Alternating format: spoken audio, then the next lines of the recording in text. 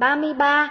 Vị Tổ sư Thiền Tông đời thứ 33 Tổ Huệ Năng, sanh năm 638 dương lịch, tịch 713, thọ 75 tuổi, người ở nước đường, cha tên Lư Hành Thao, mẹ tên Lý Yến Thị. Cha ngài làm quan ở tỉnh Nam Hải, trong coi quốc khố, bị người tham lam hãm hại, nên triều đình cất chức và đài đi lãnh Nam, gần biên giới Việt Nam. Vì không chịu nổi cảnh rừng thiên nước độc, nên cha ngài mất ở tuổi 49. Do vậy, ngài thất học, vào rừng đốn củi đem ra chợ bán để nuôi thân và nuôi mẹ. Một hôm, ngài gánh củi ra chợ bán, có người nhà phố kế bên tụng kinh kim cang, ngài nghe được câu bất ưng trụ sắc sanh tâm, bất ưng trụ thanh, hương, vị, xúc, pháp sanh tâm, ưng vô sở trụ nhi sanh kỳ tâm. Tự nhiên thân, tâm ngài như chết mất, một hồi lâu ngài tỉnh lại, sao thấy lạ quá, tự nhiên mình nghe câu kinh như vậy mà mình bị chết mất. Như vậy, bài kinh này là như thế nào mà đưa mình vào chỗ mênh mông như vậy? Ngài liền qua nhà kế bên hỏi, kinh này là kinh gì mà có diệu lực quá đặc biệt? Tôi vừa nghe ông tụng mấy câu mà tôi bị chết mất người, như bị rơi vào khoảng không mênh mông vô tận vậy. Người tụng kinh đã từng nghe Đức Ngũ Tổ dạy, ai đọc tụng kinh này mà cảm nhận mất mình hay bị rơi vào khoảng không mênh mông vô tận là người đó bị sức hút của thanh tịnh thiền và về được quê xưa của mình. Người này sẽ làm thầy của người và làm thầy của cả trời nữa. Người tụng kinh biết Ngài đã đạt được bí mật thiền tông nên có nói Cậu là người hiếm có trên đời, kinh này tôi đọc tụng trên 10 năm mà không cảm nhận được gì. Còn cậu mới nghe tôi tụng có một lần, có mấy câu mà đã cảm nhận được sự diệu kỳ của pháp môn thiền tông học này. Tôi có nguyện hứa, người nào giác ngộ được bí mật kinh kim cang này, nếu người đó có cần tôi giúp đỡ trong việc tu hành, tôi sẽ tận tình giúp đỡ. Ngài nói với người tụng kinh, tôi tên là Lư Huệ Năng, là tiều phu đốn củi bán nuôi mẹ và nuôi thân. Không biết nơi phát hành kinh này là ở đâu, xin ông chỉ cho tôi. Người tụng kinh trả lời, kinh này ở chùa Thiền Tông Đông Thiền, huyện Huỳnh Mai, cách 30 ngày đường bộ. Ngài nghe vậy cũng quyết chí đi và than với người tụng kinh, tôi cũng muốn đi đến đó để tu hành, nhưng vì còn một bà mẹ già gần 70 tuổi không ai phụng dưỡng.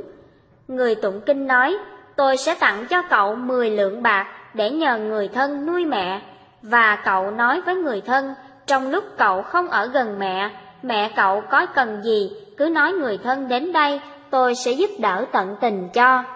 Câu nói và lời hứa của người tụng kinh làm ngài rơi lệ.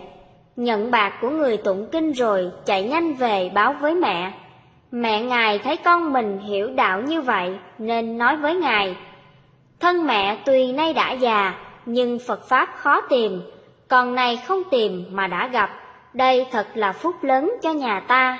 Vậy để mẹ chuẩn bị thức ăn khô cho con, con hãy nhanh chân đến chùa Đông Thiền ra mắt ngũ tổ. Ngài vâng lời mẹ lên đường suốt ba mươi ngày, đến được chùa Đông Thiền, huyện Quỳnh Mai, gặp được ngũ tổ. Tổ hỏi Ngài, cậu từ đâu đến và cầu việc gì? Ngài thưa, con tên là Lưu Huệ Năng, từ đất lĩnh Nam đến đây, xin cầu làm Phật. Tổ thấy gã này thân hình xấu xí, nhỏ bé, tiều tụy mà có lời khí khái như vậy, nên hỏi, Cậu là người sống ở biên địa, người bần cùng hèn hạ mới sống ở đó, làm sao cầu làm Phật được? Ngài trình thưa với tổ, con tuy là người sống ở biên địa, tổ có Phật tánh, con cũng có Phật tánh vậy.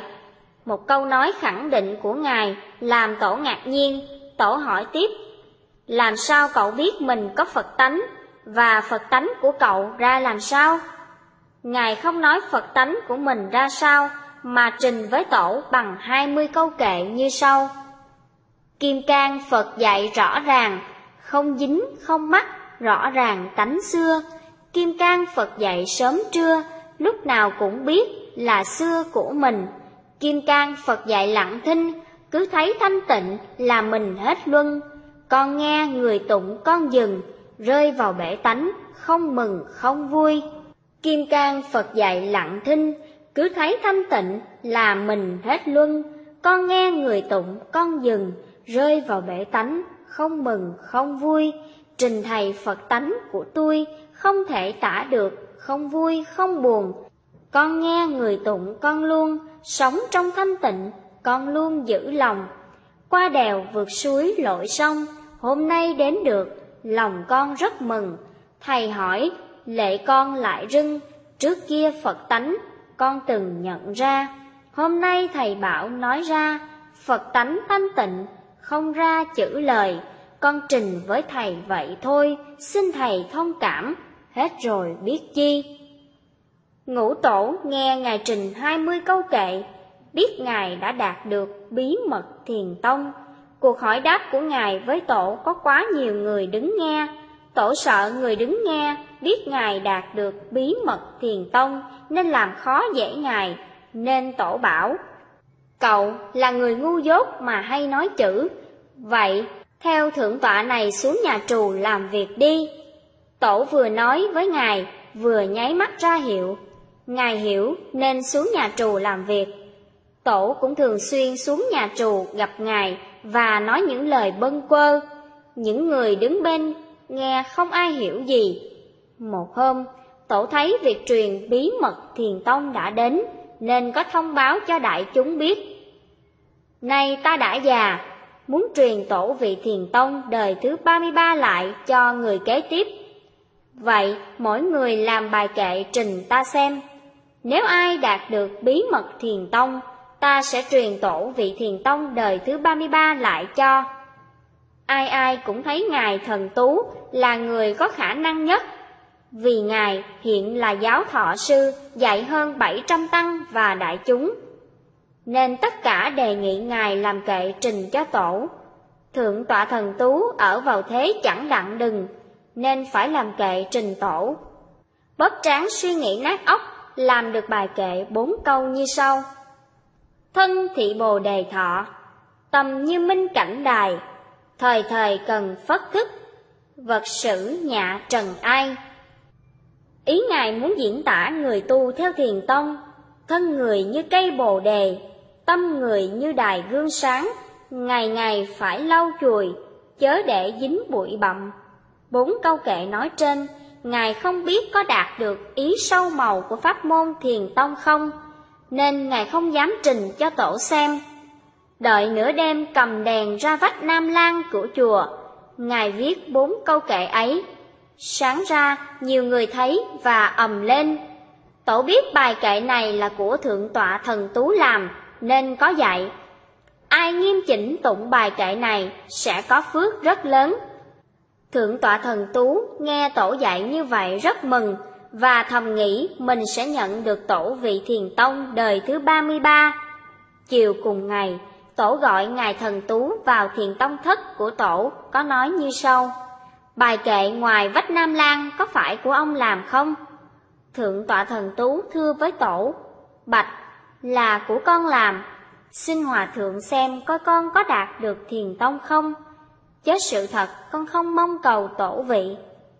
Tổ dạy Ngài thần Tú, bài kệ của ông làm chưa nhận ra được Phật tánh của mình. Người nhận ra được Phật tánh của chính mình rồi, dù người đó có ở giữa chiến trường Phật tánh ấy cũng không dao động. Vậy, ông về tỉnh thất làm bài kệ khác trình ta xem. Nếu vào được cửa bí mật thiền tông, ta sẽ truyền tổ vị lại cho. Ngài nghe tổ phán một câu, tự nhiên Ngài toát mồ hôi, từ giả tổ về thất của mình, bước ra ngoài thất của tổ, mà chân Ngài đi lão đảo không vững. Khi về đến tịnh thất, tâm trí như muốn cuồng, suy nghĩ miên man, mình đã nặng óc vét tâm mấy ngày trời, tốn không biết bao nhiêu giấy mực, chỉ viết ra được có bốn câu kệ. nay tổ bảo không phải, thật là khổ. Mấy ngày sau, có chú Tiểu đi ngang chỗ giả gạo của Ngài Huệ Năng, đọc bài kệ của Thượng tọa Thần Tú.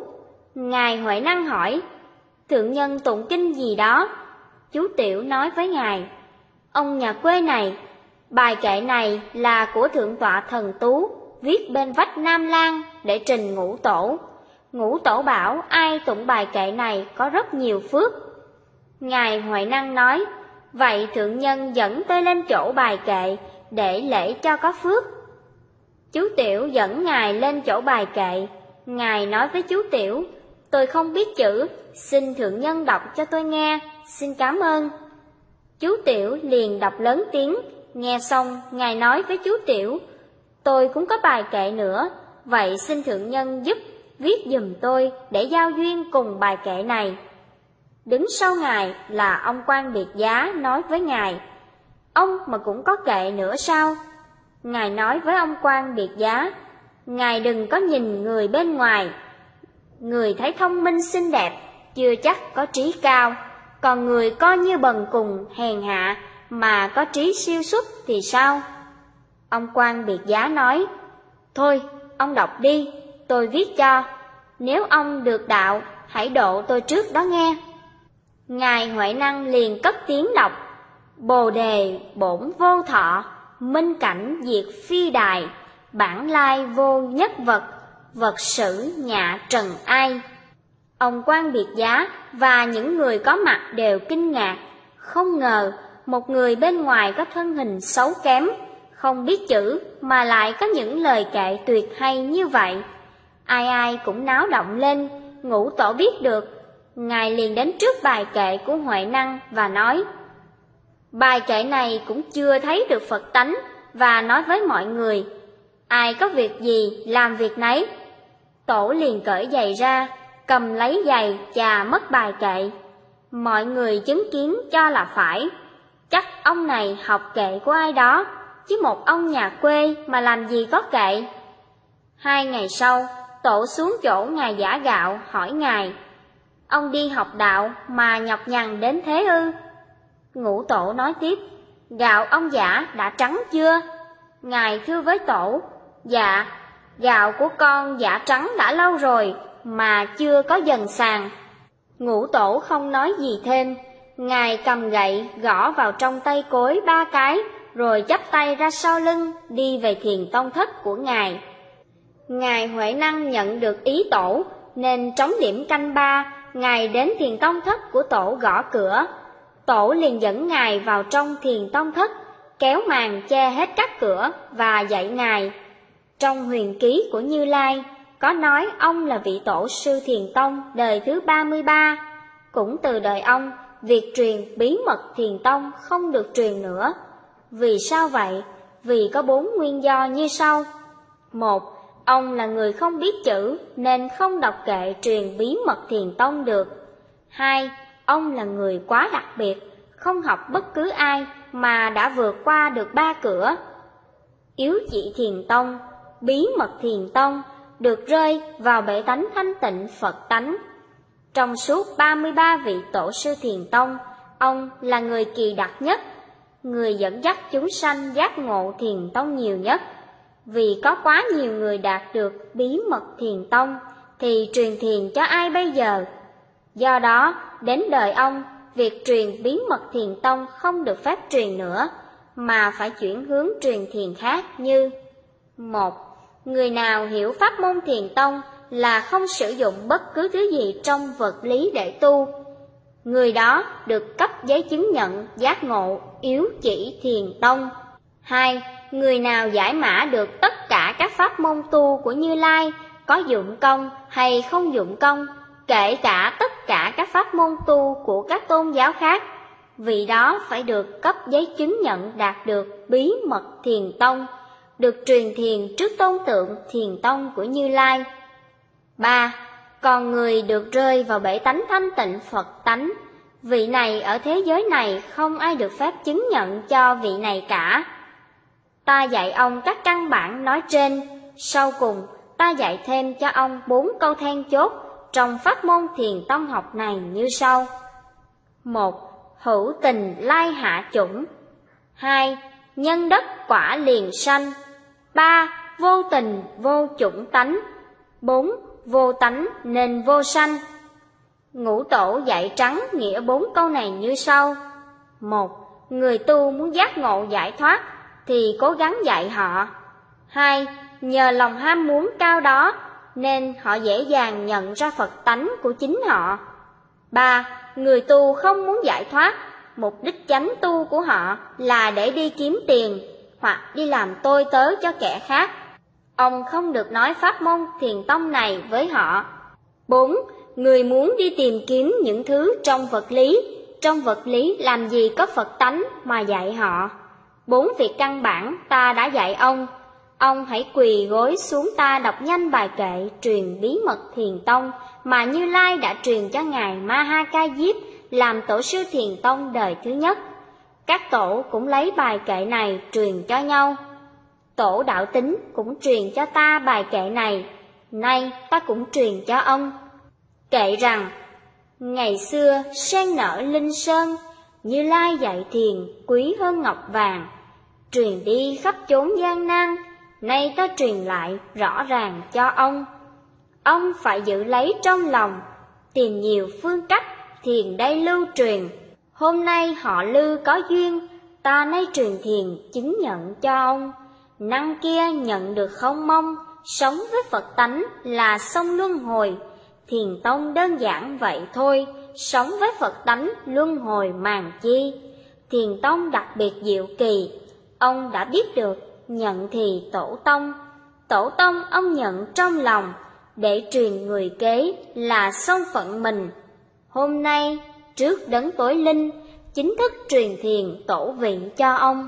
Ông phải cố gắng hết lòng, tìm người kế tiếp là song phận mình.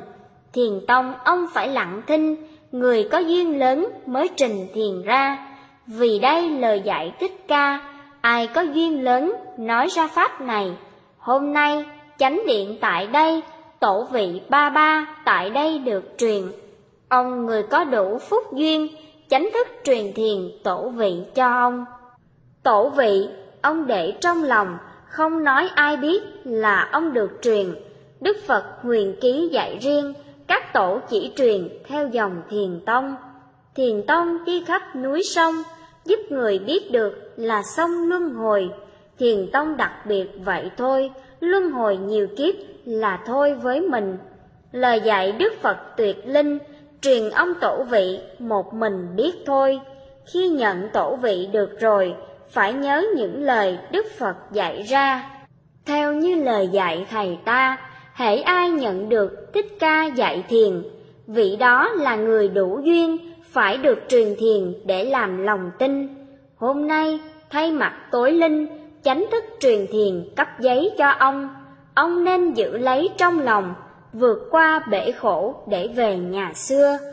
Từ nay dù sớm hay trưa, chỉ cần thanh tịnh không ưa niết bàn, ông nên cố gắng bình an, rơi vào bể tánh chính đây quê mình. Ngày xưa Đức Phật dạy dừng, vì ông không biết, không theo lời Ngài, vì vậy đi khắp trần ai, rơi vào bể tánh, ông nay mới dừng. Tất cả chúng tôi rất mừng vì đã chứng nhận ông đây ngộ thiền, ông nay hết đạo hết điên, chánh thức truyền thiền cấp giấy cho ông. Ngũ tổ hoàng nhẫn tập bài kệ truyền bí mật thiền tông xong, ngũ tổ giao tất cả các tính Phật mà Như Lai đã truyền đến Ngài. Cũng đêm đó, ngũ tổ đưa Ngài ra bến Cổ Giang để về phương Nam. Trên đường đi, tổ dạy thêm, khi gặp ấp hoài thì ẩn nơi đó một thời gian, còn khi gặp ấp hội thì trụ nơi đó. Đợi khi nào duyên lành đến, ông mới được phép nói pháp môn thiền tông này ra nhưng ông phải nhớ hai điều như sau. Một, ban đầu ông trình tính vật cho mọi người xem, ông chỉ được phép thuyết pháp môn trung thừa, tức hệ bát nhã, còn pháp môn chánh là thiền tông học, ông phải nói hạn chế trong phạm vi 10% thôi. Khi nào có ai muốn tu giác ngộ giải thoát, hãy tận tình giúp họ. Vì trong huyền ký Như Lai có dạy, phải đợi đến đời mạt thượng Pháp pháp môn này mới được công khai nói ra. Vì đến thời kỳ đó, loài người đã văn minh cao nên họ dễ dàng tiếp nhận pháp môn thiền tông học này. Khi ngũ tổ dẫn ngài xuống thuyền để qua sông, ngũ tổ cầm chèo để chèo qua sông. Ngài nói với ngũ tổ một câu hết sức cảm động. Khi mê, thầy độ con, hôm nay con đã ngộ rồi, con xin tự độ lấy con.